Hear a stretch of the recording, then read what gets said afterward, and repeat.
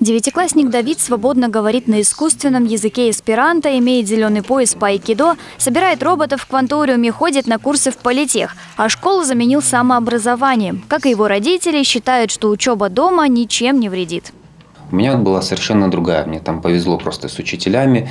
Там буквально не знаю, в кабинете физики я жил, мне там давали телескоп домой. То есть, как бы все зависит очень от школы. Некоторым стоит научиться социализации. У некоторых просто одноклассники такие, что не стоит вообще с ними даже пытаться разговаривать. И, конечно, случаи индивидуальные.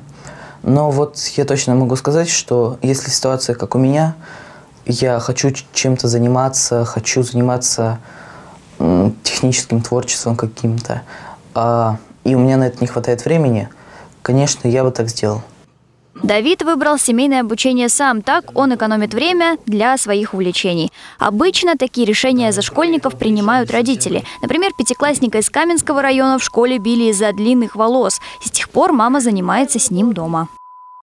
Удобнее даже потому, что у всех биологические часы разные, и можно также, опять же, свой день учебные дни скоординировать не разные предметы в один день в одну кучу, а, допустим, там а по одному дню на один предмет. Семейное обучение не только самообразование, но и дистанционные консультации, тестирование преподавателями. Помогают ребенку подготовиться родители или платные репетиторы. Нет привычной спешки. В среднем ребенок тратит от двух до четырех часов в день на подготовку уроков. При этом, если возникают трудности, какие-то вопросы, можно заказать всегда онлайн-консультацию с педагогом.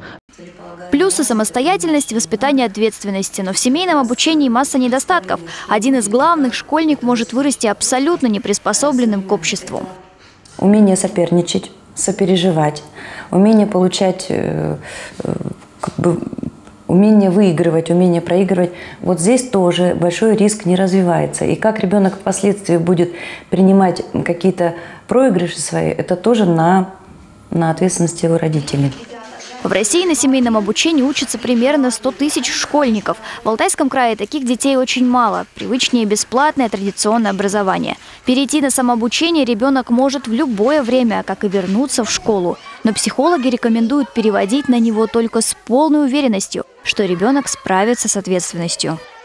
Я часто пропускала уроки из-за постоянных выступлений на конкурсах по актерскому мастерству. И из-за этого упускала очень много важных тем. Социализация в классе также не задалась, потому что у меня был свой круг единомышленников.